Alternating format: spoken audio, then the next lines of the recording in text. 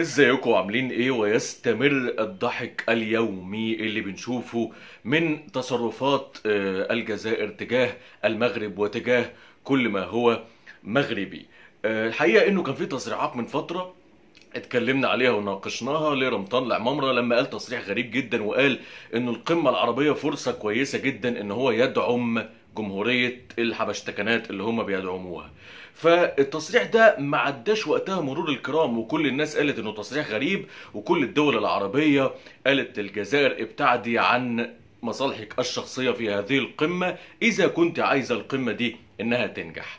فالحقيقة آه، ظهر اللي بيحصل الفترة الأخيرة انسحابات كتير من رؤساء وملوك وأمراء العرب فبالتالي الجزائر مشتتة وخرجت بعض التقارير اللي بتقول إنه الجزائر هتحا- تحاول إنها تقحم بن بطوش مرة أخرى في القمة. القادمة. كان في محاولات طبعا سابقة واللي حصل ساعة آه، اليابان واللي يعني القصص اللي إحنا عارفينها كلها من محاولات إقحام الجزائر لبن بطوش آه، كما العادة في أي حدث.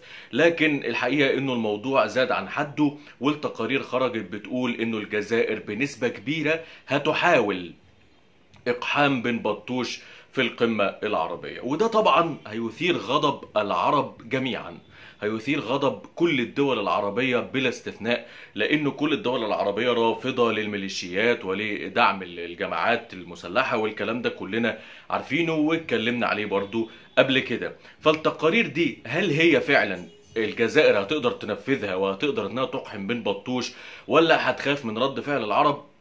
الله أعلم لكن اللي أنا شايفه إنه الجزائر لا تهتم حاليا برد فعل العرب ولا وما بتعملش أي حساب لردود الأفعال العربية ولا لأنه العرب ممكن يغضبوا أو يحصل منهم رد فعل معين. فبالتالي بشكل ما ممكن يتم محاولة إقحام بن بطوش في القمة القادمة. القمة القادمة ناجحة ولا فاشلة؟ البدايات كلها بتقول إنها مش هتنجح. البدايات كلها وزي ما إحنا قلنا برضو إنه آه، الحقيقة إنه آه، ترتي... إنه العرب يبتدوا ينسحبوا كده حاكم ورا حاكم ورا حاكم ده ما جاش محض الصدفة وما جاش فجأة لا هو مرتب من بدري.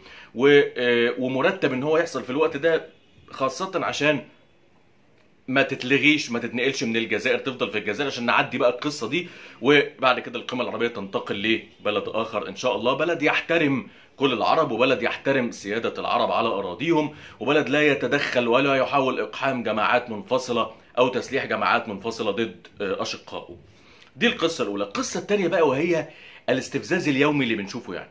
آه، الحقيقة إن هم عملوا زي منشورات إعلانية كده ومنشورات مطبوعة و و و وكمان لوحات يعني عن القمة العربية في الجزائر واستخدموا فيها الزليج برضه.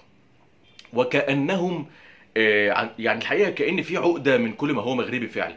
كأن في عقدة لما المغربي المغربي يطلع يقول لك ده بتاعي فأنت كل يوم هتطلع تلبس ده وتقول ده بتاعنا كأنه في عناد غير طبيعي عناد مستفز آه، وما فهم فاهم مبرره إلا إن هو عقدة. فالمغرب يمثل عقدة كبيرة لبعض آه، الجزائريين بالأداء اللي أنا شايفه ده.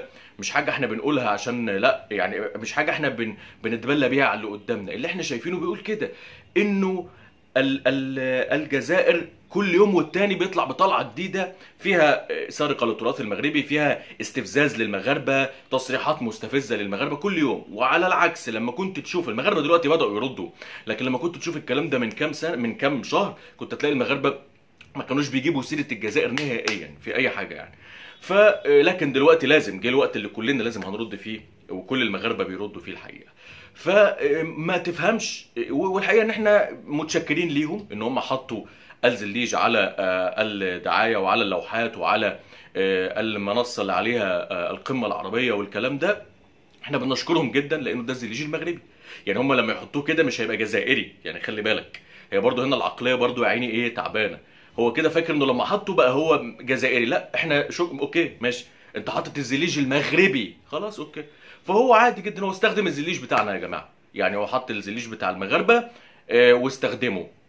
لن يغير هذا شيء. يعني مش معنى ان أنا أروح البس تيشيرت المغرب آه، بقى التيشيرت ده بتاع مصر. لا ما هو بتاع المغرب برضه. يعني هو تيشيرت المغرب برضه. فأنا لبسته هو تيشيرت المغرب. فالزليج هم حطوه هذا لن يغير أي شيء والزليج مغربي. وكل العالم طلع آه، خلاص اعترف بمغربيته والشركة اللي حطت ال- الزليج على التيشيرت اعتذرت. فالأمور بقى في كده إيه يعني تحس إنه أنت ماسك عيل صغير قدامك كده عمال تقول له بس يا بابا عيب يا حبيبي بس يا أخويا وهو برضه شغال. فخلاص هتعمل إيه؟ هتسيبه يلعب لحد ما يزهق. بس. ف آه، لكن ده استفزاز عشان ما نكونش يعني ده يخليك أنت تسأل نفسك. أنا واحد مش مغربي ولا جزائري أنا أبص كده في النص هحاول أفصل نفسي عن الاثنين وأبعد وأقف في النص كده أشوف بزاوية في النص ولا أحكم يعني كأني لا أعرف ده ولا ده. هقول ده في منتهى الاستفزاز. حد بيستفز حد كل يوم. طب أنت ليه بتستفزني؟ بس. فده إذا كان في شخص محايد باصص للأمور من بعيد كده هيقول كده لكن أنا الحمد لله مش محايد لست محايدا وأنا بنتمي بكل قلبي آه، للمملكة المغربية ولبلدي مصر طبعا. فبالتالي لما أشوف حاجة بتتاخد من المغرب واستفزازات كل يوم لازم أطلع أرد عليها وبشكر اللي حطه الزليج عشان هو زليج مغربي وهذا لن يغير أي شيء. انتظروا إن شاء الله يوم 1 نوفمبر أغنية جديدة بعنوان أجي دير دويرة وهي اغنيه إن شاء الله للمملكة المغربية عمل فني جديد وبعديها في حاجة تانية إن شاء الله هفاجئكم بيها بإذن الله. هسيب لكم برومو صغير إعلان صغير عن آه، آجي دير دويرة إعلان بسيط كده وبعد كده نسمع مع بعض مغربي ومغربية وأشوفكم في فيديو جديد إن شاء الله. تحياتي ليكم والسلام عليكم. مرحبا بكم. تسناوني بلاك ماجدي الفرعون المغربي وأغنية آجي دير دويرة في الأول من نوفمبر. توحشتكم بزاف. أحكي في تاريخه إزاي. ماضي وحاضر والجاي. حكايات ملهاش نهاية. والتاريخ مش نساي.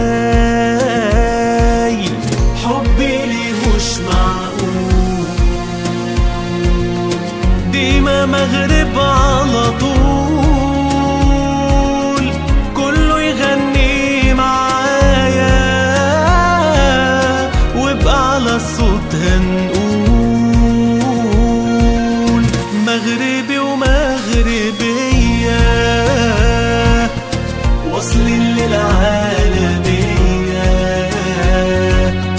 وبصوتنا نقول نغني أمجادنا عنا تحكي لكل الدنيا دي. درجة وأمازيغية والشلحة والحسنية. الله الله علينا. مغربنا بينادينا والنجمة الخضراء عالية.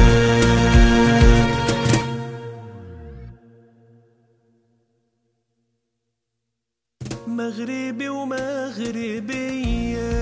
مغربي ومغربية.